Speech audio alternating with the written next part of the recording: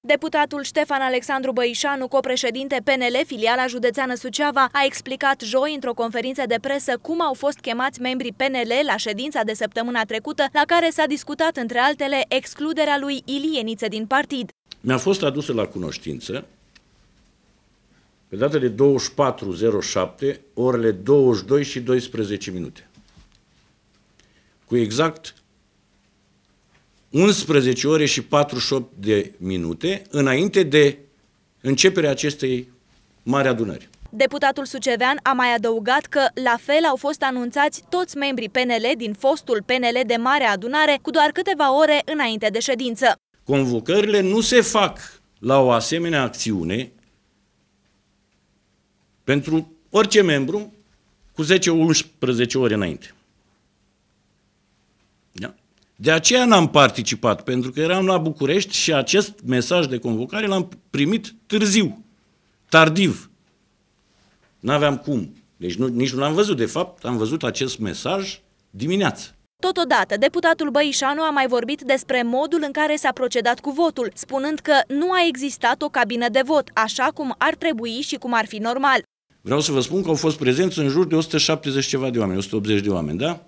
E, la această ședință ar fi trebuit să fie 114 președinți de organizații din fostul PDL, 114 președinți de organizații din fostul PNL, deci din start 228. Și alți încă vreo 70, 80 de oameni politici din fostul PDL și fostul PNL, deci undeva la peste 300 de persoane. Au fost jumătate. De ce au fost jumătate? Pentru că de la Partidul Național Liberal au fost convocați nestatutar doar o parte dintre membrii Partidului Național Liberal și nu toți.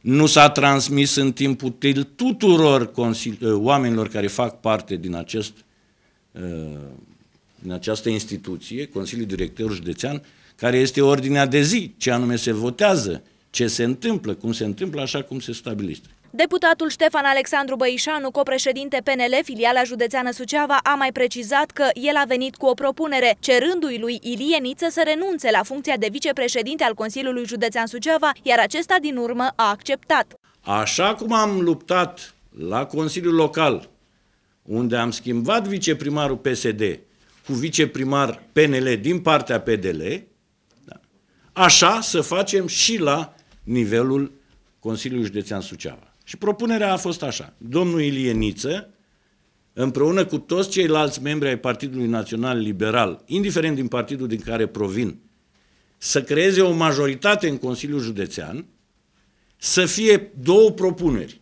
de oameni, un consilier local, județean din fostul PNL, un consilier județean din fostul PDL, alții decât domnul Ilie Niță, care să fie propuși să fie aleși vicepreședința ai Consiliului Județean.